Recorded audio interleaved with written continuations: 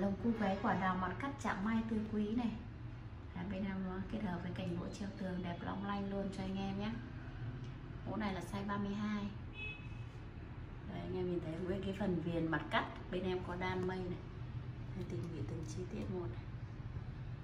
Đấy, phần phía trước thì chạm mai tươi quý này. Đây là cái phần khay này thì bên em ờ, có chạm đốt trúc nhé tất chi tiết đều được đan tỉ mỉ đây là phần đáy này. Đáy này thì anh em mở cửa lồng này, anh em sẽ chốt ở đây nha kéo cái phần chốt này ra. À là đấy là khay đế. Anh em sẽ treo chốt còn cái cửa này thì anh em sẽ rút từng nam lên một.